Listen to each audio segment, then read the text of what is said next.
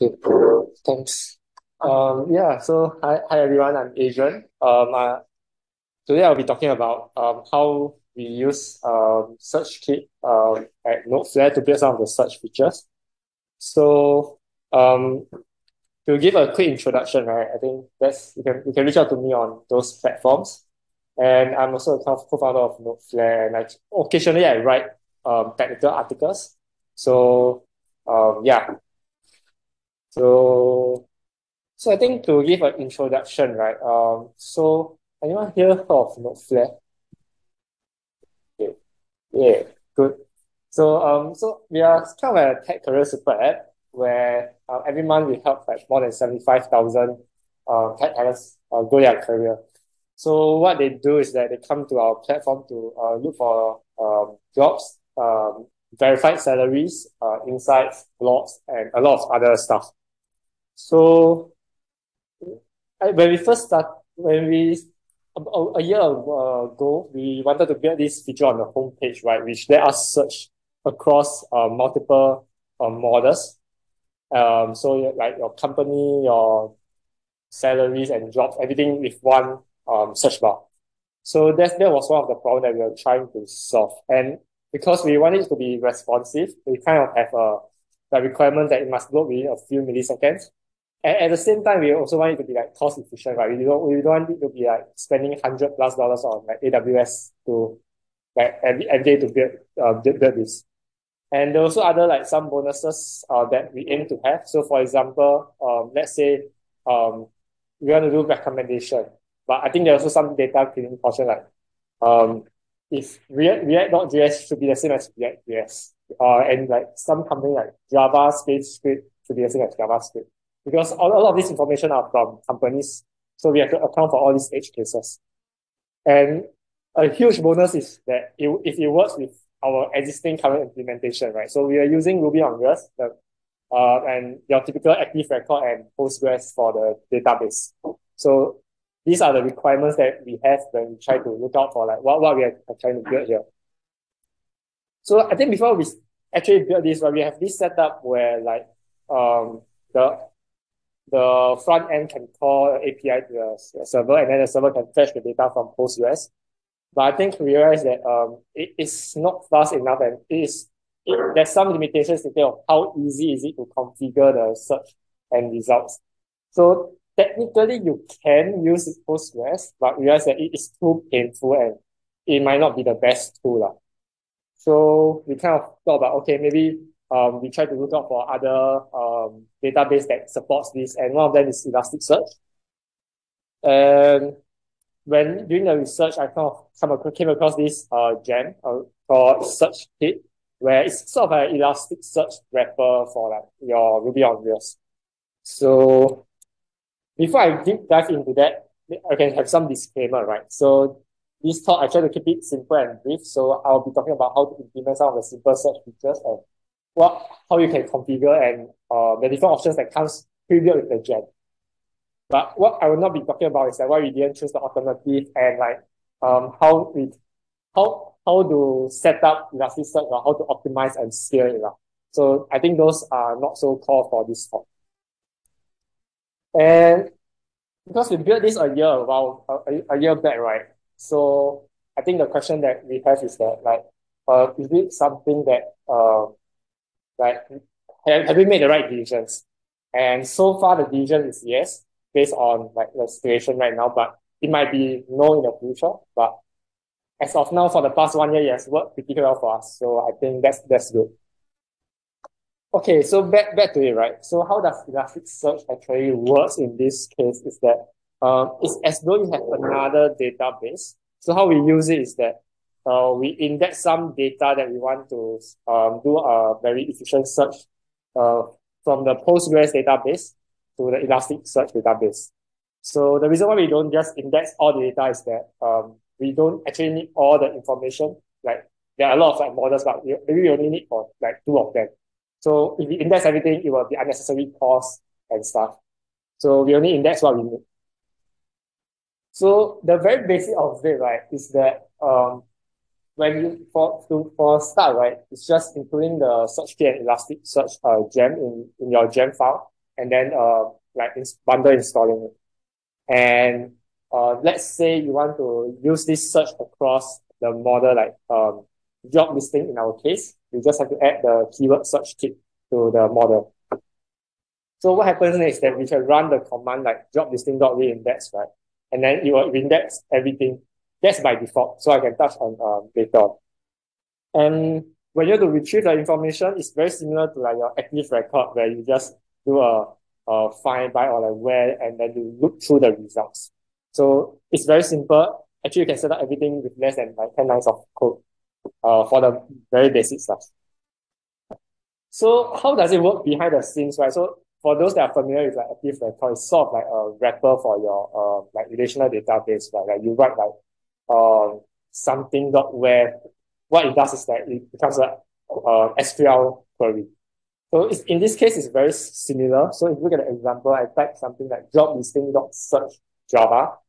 What it actually goes behind the scenes that it converts it into a, a query for uh, Elasticsearch, then it will cause the uh, the endpoint. So a lot of a lot of the things are extracted away for simplicity sake. So some of the query options that um that are very useful um and I would say covers quite a bit of the use cases. Uh the simple one like uh which field do you want to search across? So for example, maybe a job listing has a title, a description, and a lot of things. But maybe we only want to search through the description. So we can just indicate which field we want to search through. And we also can indicate like uh some constraint, right? Only search like if it's an intern or junior, like very straightforward things uh that you can refer to a documentation, but uh it's the syntax is very similar to your active record. Yeah, so and so in some cases, we realize that we might want to boost the scoring for certain fields. So for example, if I want to search for like um uh, API engineers, right?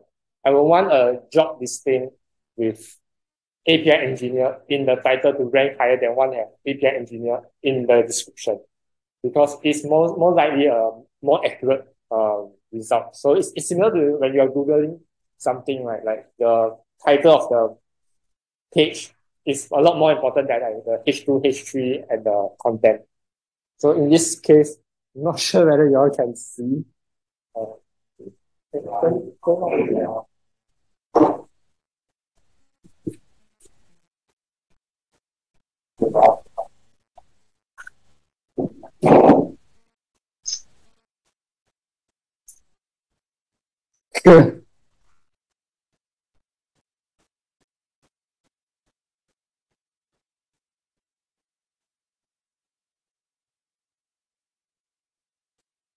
Okay, so I try to move here. Okay. So we, we may do with this, like this, uh, the next that we. Um, so yeah, so we can use the boost by field over there to uh, uh we can we use the fields there to indicate like uh in the case of title, we want to have like 10 times the scoring if the terms Java appear here.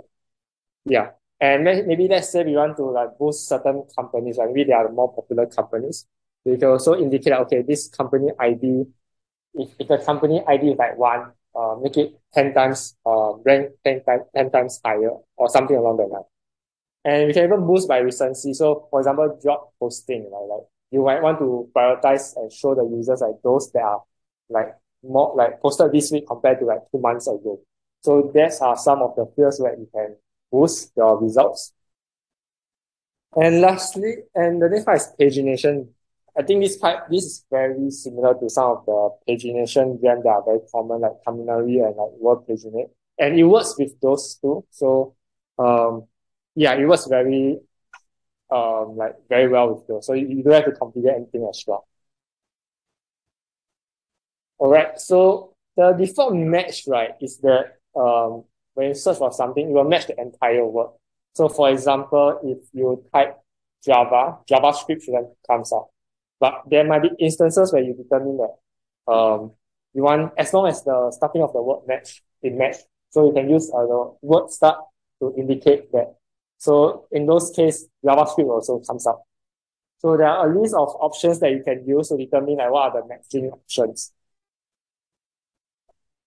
And this, this is something that I quite like, particularly as in is that you can also do something called the similarity search, where you can just indicate that, okay, I want to find job listing. Once you have a record, I want to find similar listings based on the different fields. So this is an example that we kind of had, right? I took a screenshot that, of what we built where uh, a job posting site, we kind of have the similar jobs. And those are matched. In our case, we use like things like tech stack and like seniority, all these to match the similar jobs. Yeah. So um, it works like out of the box, especially if you don't want to customize a lot of things. Yeah, and you don't have to add you don't have to add in another gem or build your own recommendation engine from from scratch. Right? Okay, so the next part is that um when you query something from um like Elasticsearch this way, right? What it does is that actually it gets the ID uh of all the records from Elasticsearch, then it will get it will fetch those records from Post Postgres in our case to get the other information. But what this means is that it's uh, two like uh, requests, right? So there, if you want, you can call the load false keywords. So it will take all the information from the Elasticsearch server. And the pros is that you save on like one request and um like it, it works independently from your Postgres uh database. But the cons is also that you must make sure that all the information that you need in this case are stored in the Elasticsearch. It might incur more cost. And because Elasticsearch is sort of like a copy of your like your main database, right?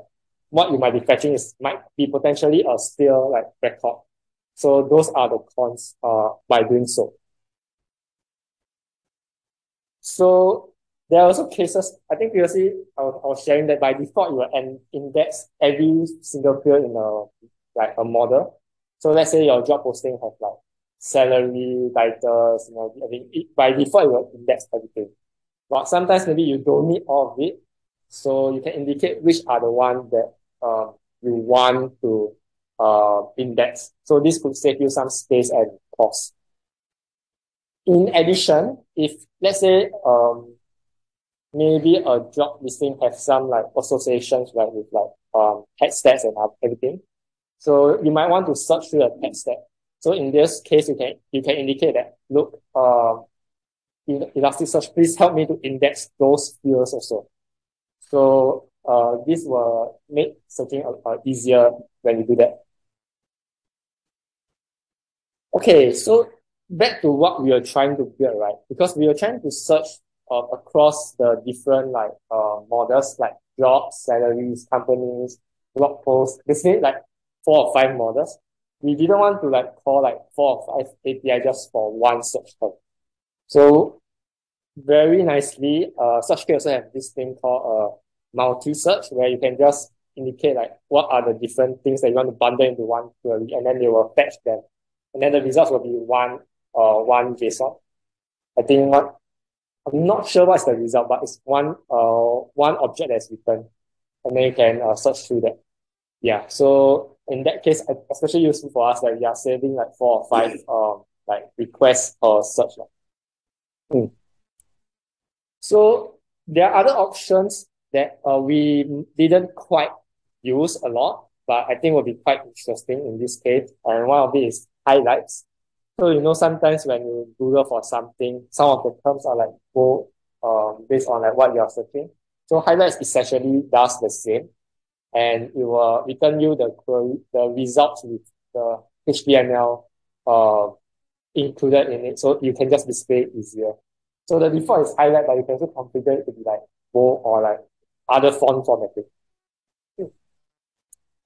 And it also comes with like stemming, which is um you a concept for like search engine where like you try to pre clean up um many the the the fields based on like the I, item. I'm not quite sure the explain this, but yeah, I think it's quite, straightforward. yeah, and lastly, there's a aggregation that is quite um quite nice also because when you search something, it will, it will tell you that oh, under these uh, attributes, you have how many of these items. Let's say you're building an e-commerce store or search engine where you want to display how many search results per field. Uh, it actually comes, comes with that too. Yeah. So that's about the features that, like some of the core features of Searchkick. So I will talk about some issues that we face when building it that we sort of get burnt. So let's say a mod like a model has an association from another model, right? When the like the second model is updated, it does not automatically reindex the the first model. So what this means that let's say a job listing has a multiple text tags. And if you update a text tag, it does not automatically reindex that in the job listing. So this is something to take note. You have to write a method to sort of do a, a callback uh like method to um, get them to get the job listing to reindex. So yeah, it's, it's this also not very clear in the documentation, but we, we have to figure out the hard way. Second is that we are determining how to reindex, how often to reindex, right? Because essentially like your Elasticsearch is a copy of your Postgres, like it's like similar concept to your cache. Like you don't want to keep updating it because it's, it's expensive, but you also don't want to update like um, like too little such that the data goes here. So it really depends on your use cases. So for our case where like we have like um salaries or jobs, right?